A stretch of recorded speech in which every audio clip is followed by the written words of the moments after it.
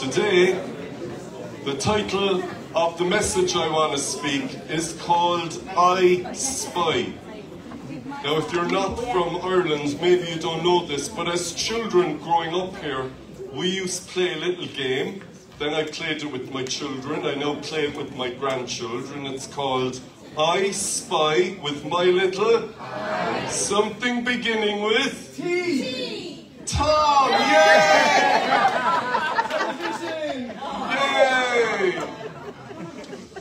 However, I want to look at spies in the Bible, but if you think of a spy, when I hear the word spy, and I love spy movies and spy box sets, but you know, they're nearly always like guys in Berlin smoking at a cafe. and their eyes get slitty, and they're drinking black coffee, and they're looking around to see if there's someone from the other side there. And when I think of spies, I think CIA, MI5, MI6, KGB, all of that stuff. Did you know in Ireland we've got a secret service, a spy agency, and it doesn't even have a name. Now that's a good spy agency. I mean it. Nobody knows the name. We know nothing about it. We don't even know where it is. But every year, if you follow the money, a whole load of money goes into Ireland's secret service. So what they get up to, I have no idea. But when we look at spies in the Bible, we're not looking at good spy, bad spy. A better description is undercover special operatives like you get in the army. In, in the Irish army, there's a unit called the Irish Rangers. In the UK, they have the SAS. I think they're called SEALs or something in America. Every nation has them, and they will go across the battle line into enemy territory, and they will see what the territory is like. And I want to look at that today because the spies in the Bible are more like those special operatives. So I want to just look briefly at the journey the people of God took because it's your journey and it's my journey. And we know they left slavery in Egypt, wandered in the desert or wilderness, and then came to the borders of the promised land. For us today, symbolically, Egypt is your old life. It's the old you. For the 20 or so people getting baptized, Today is a day where you mark the difference publicly, but the difference has already begun in your heart. So we have left Egypt. Will anyone say hallelujah? Hallelujah. We've left Egypt. We were slaves back there, but we've left it. Some of us here today maybe are still in a bit of a wilderness. We're wandering. We're not sure. You go through the desert, that's when you're searching. And then to go to the promised land, Israel, Canaan, that's the new life. That's the life of the believer. Now, what would a sermon be like if there wasn't a good old map in it? You have to have a map in every service. So, as you know, when Darius usually speaks, she sings, Michael quotes C.S. Lewis. See, yeah. And he's a great writer, Irish writer. But I love an old map. And here's a map of what I'm going to look at today. Isn't it lovely colours? Red and green should never be seen together. Anyway, so what we've got is the children of Israel, that's you and me, the people of God. They've left Egypt, they've gone through the wandering desert, and they now have come to the entrance of God's new life for them, His promise. You're right, my love. So here they are, this is the red arrow here. They're coming to the River Jordan. And the first big obstacle they're going to face is Jericho. And today, this is the modern uh, nation of Jordan, the West Bank of Palestine and Israel. That's what we're looking at. And Jericho is a city that was rebuilt, it's there today. So, as you can see, there's a river there. So, we're just on the cusp of the people of God taking a big step. All of you getting baptized, they are going through the waters because they got ready, God separated the waters for them to take the land. But before they did that, the leader, his name was Joshua, it's a type of Jesus. In Hebrew, Jesus is known as Yeshua, similar to Joshua.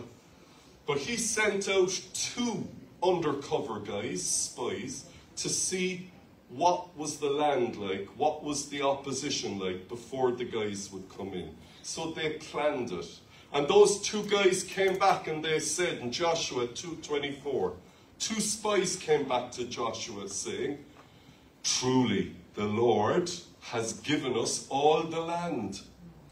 And the local fighters there are terrified of us. So the people living there had already heard that God was for these people. Mm.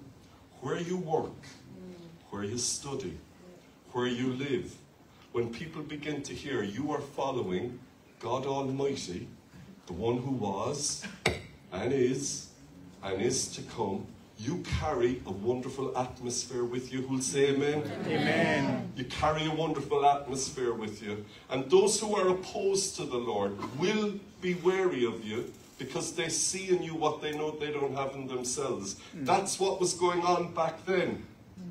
And so they give this report to Joshua. I'm fast forwarding. He gets everyone ready. There were about two million people. And they cross over. God separates the waters. They come to the first obstacle, the city of Jericho. What's your Jericho? Because you've got a Jericho. I've got a Jericho. This is the big obstacle. I want you to keep that in your mind. And they cross over, and God says, I want all the people, there's a lot of people, just keep walking around the city six days in silence, no noise. So the people in the city are breaking it, they are panicking. The people in Jericho don't know what's going on. But silently they walk around the city six days, and then we're told on the seventh day the trumpets were blown, and the people all gave a great whisper, no, a great shout of praise together. Then the walls of Jericho fell down, and the people of God captured the city. Now, I don't have a trumpet on me. Anyone got a trumpet? No. What they had back then was, you can see it here on the screen if you're listening on podcast, maybe check it out on YouTube, Facebook, Instagram. It, they call it a trumpet, but the Jewish name for this instrument was shofar. Say shofar. And it's like this big long thing that you blew into, and it made a loud sound. Now, they had a whole army of men with these trumpets. It must have been earth shattering. So, we're going to try and do a little bit of noise. Here we've got Steve and Jerry on drums, and we're going to make a bit of noise. Let's just get a little idea of what it might sound like. If you're afraid of loud noises, just put your fingers in your ears for a second. One, two, three.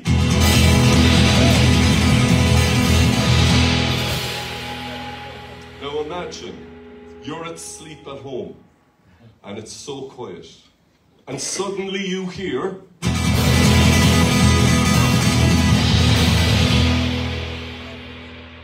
You think you'd stay asleep? I would. No, we wouldn't. So they heard this loud noise, but it was followed immediately by a whole load of people, nearly two million, who shouted out a word. And the word they shouted out is a very hard word to pronounce. It is hallelujah. It's very hard, isn't it? Hallelujah. So what we're going to do is we're going to get the guys to do that really loud sound, and then together we are going to shout out Hallelujah. Are you up for that? Now we did this at the 10 o'clock service, and I have never heard such a sound. I mean that. The guys shouted out at the top of their voices, but now the world is watching us. So we've got to be louder. Are you up for it? Now, the best way you can make a noise is if you stand. If you don't want to do it, that's fine. No one's judging you. But if you're in for it, we'll just stand up.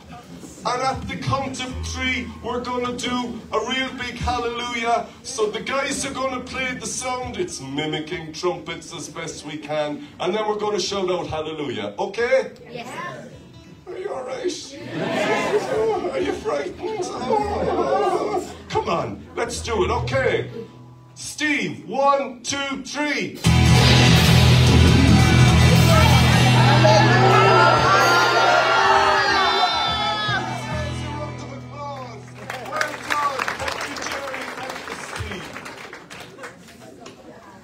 We want to make the Bible alive. What did it feel like? What did it sound like? Next time I'll be preaching on this, I'm going to hire a couple of fellas from, I don't know, New York or Jerusalem and come over with their trumpets.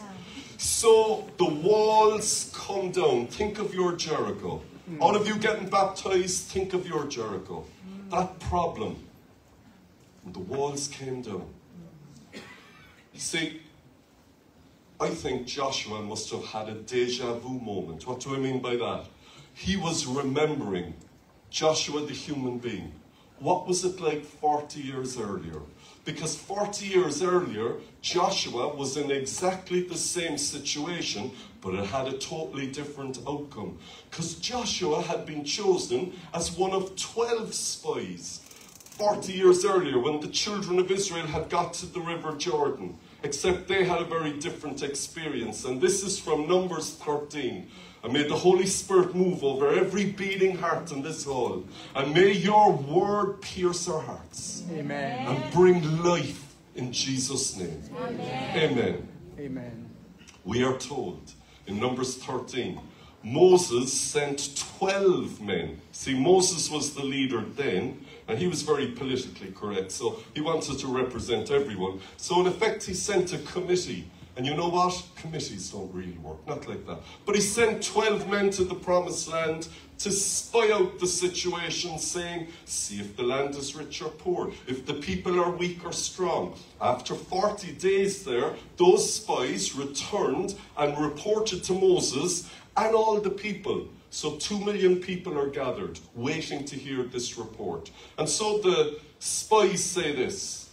That land is indeed a land flowing with milk and honey, as well as having abundant fruit. These were a desert people.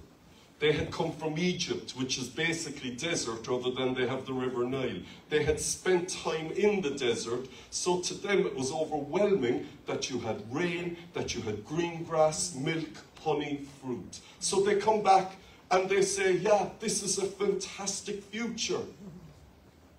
But but the people who live there are strong like giants, and their cities are fortified and very large. Now, you and I have just read together how 40 years later the people of God had faith. And the, the people who were like giants were terrified. And the strong, fortified city, the walls had fallen down. But here and now, 40 years earlier, and Joshua must have been remembering, they gave a very different report. You see, the people weren't like giants. They were just a couple of inches taller, a couple of centimeters taller. There was no big deal about it. But to them, it was huge. And then, of the 12 spies, we're told in the next verse 30, one of them called Caleb. However, Caleb, one of those spies, tried to calm the people. And he said, Let's go up at once and take possession of this land. We are well able to overcome it. You are well able to overcome your Jericho. Do you believe that? The world will tell you again and again you're not able. But if God is for you, who can be against you? Hmm. I'm not saying we overcome every issue if it's God's will for us to overcome it. Hmm. And God had clearly said to them, I want to give this to you. In fact, the next chapter puts a bit more meat in the bones. 14, verse 6 to 8. It says, Two of the 12 spies, Joshua, who we just saw earlier, and Caleb said, This land we spied out is a good land, and if the Lord delights in us, he will give it to us. Only do not rebel against the Lord. Sometimes, if we, if you and I allow our fear to take over, it actually is sin. It's not just that we're afraid, it's rebellion against God. If God has clearly said something and we're afraid. Let me give you an example. Today we've got 20 or so people getting baptized. Why? Because God has clearly said it in the Bible. But we can be afraid of doing that. Don't be afraid, have faith. Mm. Life is so short. So short. You're really going to spend your life looking over the shoulder of what some other fella thinks? How about Michael shared it at the past nine meeting this morning? We serve an audience of one. Amen. Amen. So they said, God will give it to us. Don't rebel against him. But what did the others say? The other 10 spies said, No, we are not able. So they are confessing defeat out of their mouth. They, the enemy, are stronger than us. They will devour us. And some of us are here and they are people at work. They are teachers at school. They are people in the family. They, they. How about him? Hmm. How about him? What does he say? Who cares what they might do? If God is for you, who can be against you? You see, the Bible, some people say, ah, the Bible is only an old dusty book. The Bible is full of wisdom and encouragement that has been there for thousands of years. And we've got a couple of people who over the last hundred years says, oh, God is dead, baby. Yeah, really? Yeah? Of 100 years they're saying that, and you can go back thousands of years, and generation after generation have come to know who the real God is. Hallelujah. Amen. God's not dead, He's alive. Amen. Hallelujah. Look at what their own confession says about themselves. Here's what they said.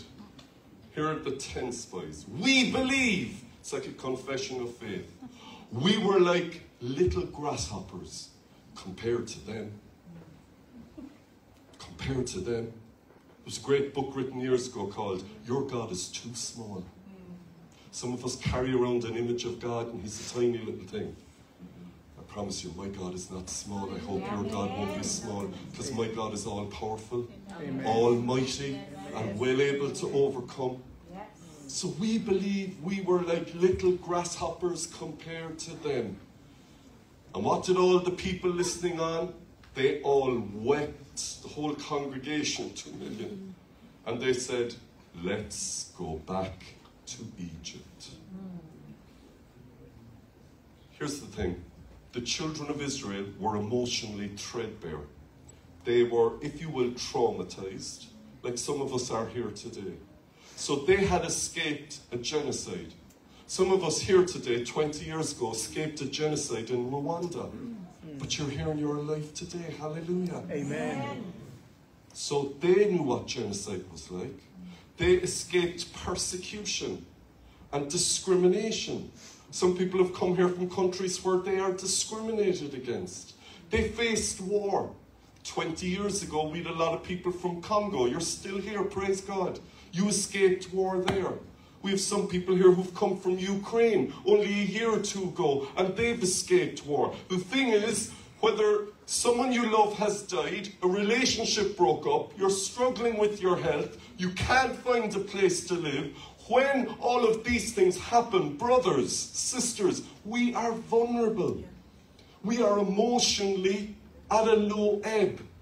Who are you and who am I listening to when we are emotionally vulnerable?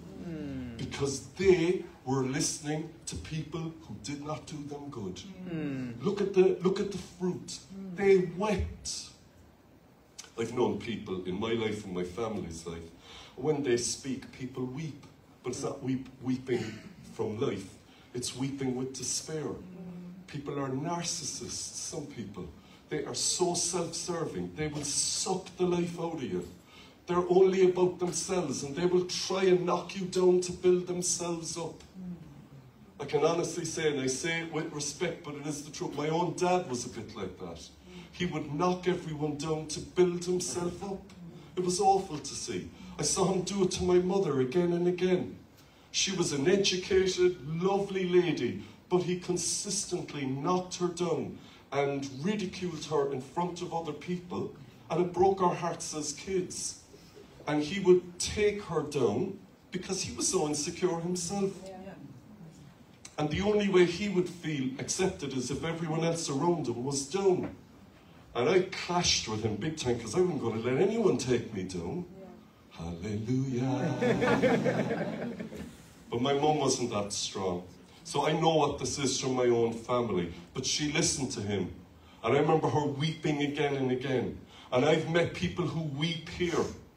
And honestly, in your heart, and I've been there once or twice myself, you feel like giving up.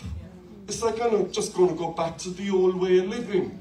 they said, let's go back to Egypt. Why? Because they forgot about the slave masters. They forgot about the lash of the whip. They forgot about the guys who were killing their babies. Mm. They forgot about the life they had where they had no choice. But the people who take life from you will speak at your vulnerable moment and speak words that drag you down and not lift you up. Surround yourself with people who will build you up. Who'll say amen? Amen. I'm not saying blast anyone out of it. You don't have to say anything. You just have to make a decision in your heart. When they come at you, just pray silently. Hmm. In one ear, out the other ear. Amen? But when someone is speaking with a good heart, especially a believer, we take what they say into heart. I love what Professor Leslie Allen from Fuller University says about this verse. He says, The evil report prevailed, it won out.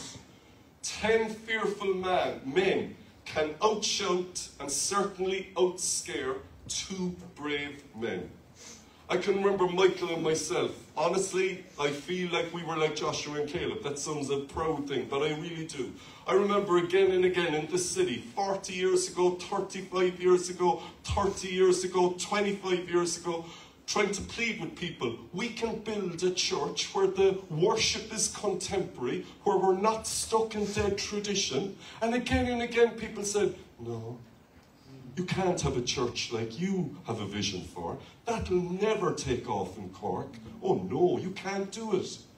Hallelujah. Yes, we can. Amen. You are evidence. Amen. Hallelujah.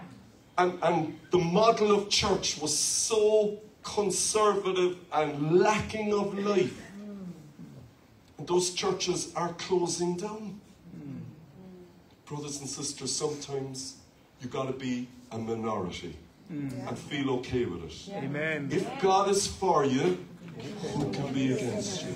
Hallelujah. Amen. Praise Amen. God. They outshouted, but they believed. So Joshua survived 40 years. I feel so sorry for Joshua and Caleb. Because of the other guys' fear and their loyalty, they end up 40 years going around in circles in the desert. Everyone was afraid. No, we can't. No, we can't. God said yes, but they said no. Joshua and Caleb had to endure that until the whole generation who had no faith died off. But the next generation, no, they were a generation of faith. See the next generation here dancing earlier? Hallelujah. Amen. When I was 19, and a whole lot of other 19 year olds became Christians with me here in Cork, I remember we would dance before the Lord. Hmm. And when I see every couple of years young people dancing before God, which is what David did, David danced before the Lord. And when I see people dancing before the Lord, I say a silent prayer. I was looking at all the guys there Nick, Josh, who else do we have? Megan, and I saw Anthea, and, and a whole lot of others, uh, Freya. And I say silent prayer. I say, when you're in your 60s like me, may you still be dancing before the Lord. Amen. Amen. Amen. Amen.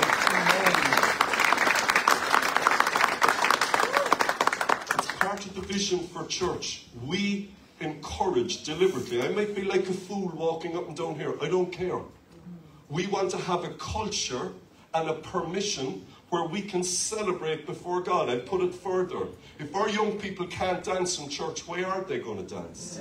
Because they're going to end up in a club somewhere. And I tell you something, God won't be glorified in that club. But in here, He'll be glorified. Amen. Hallelujah. Amen. So even if you're a very quiet person and you don't want to do anything like that, that's okay.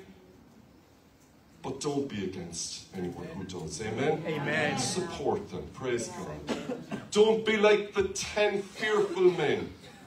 You see, it's all about is someone in your life encouraging you or discouraging you? To encourage is where you give someone courage, literally. Discourage is where you take it away. I had a teacher in school who said to me, You are useless at maths. And it kind of was, really, you know. But he shouldn't have said that. Thing is, I thought I was good at everything else, so I, I was fine at everything else. But his words kind of kept ringing in my ear. What a terrible thing for a teacher to say. So I got him. He became actually, I I won't say, I won't say, I won't say. Be careful of your words. Parents, life and death are in the power of your tongue, my tongue. Life and death. We can destroy our children or we can build them up. We can destroy our husbands and wives or we can build them up. We can destroy our friends or we can build them up. Choose. Which do you want to do? It doesn't mean that we can't have heavy conversations or something's going wrong that we're like Egypts, we're afraid to say it, and of course we do.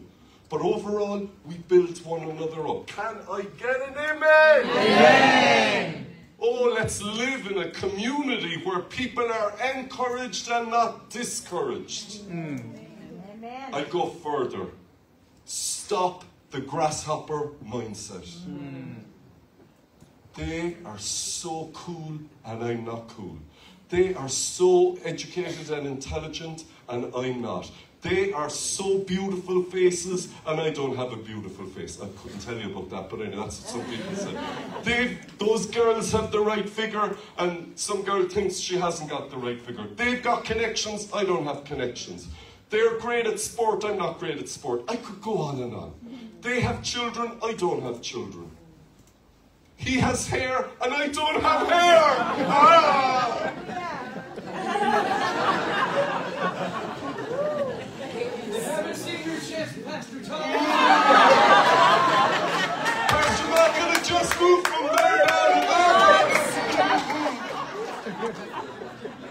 That church is getting very flesh-like in these days now.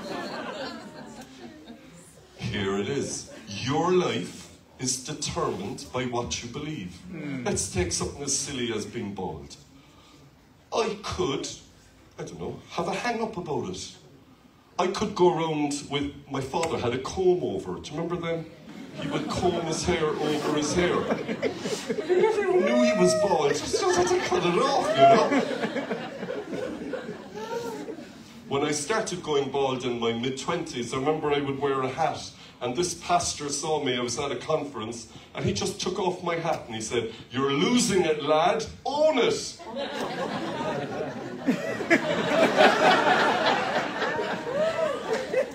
I rebuked him, I rebuked him. It's all to do with our attitude. You see, I might be bald and you might have a full head of hair, but you, what's your issue? Because we've all got issues, don't we? The thing is, do we trust God? Do we see life as He sees it? Because honestly, God doesn't care whether I'm bald or not, but He does care who I am. It's the person inside that matters. Yes. No, I can be in the world out there, and the world out there says you can't be bald. I'm just using that as an example.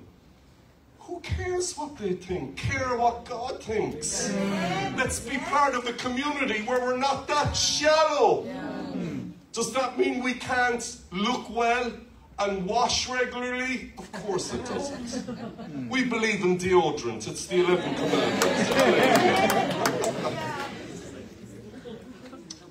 But there's a grasshopper mindset where we think others are stronger than us. I'll always remember I was Christian about three years, and this honestly happened. I remember going into a situation, it was here in Cork, I won't say what it was, but I felt insecure going in because I felt the other people there were way better than I was.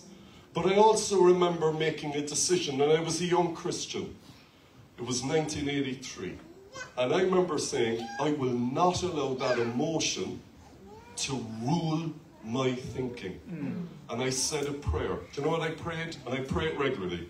Get behind me, Satan. Hmm. This is not who I am. Hmm. I'm not going to take on that baggage. And you know, I could have spent the last 41 years carrying that baggage. I choose life, not death. Amen. I choose what God said, not what man says. How about you?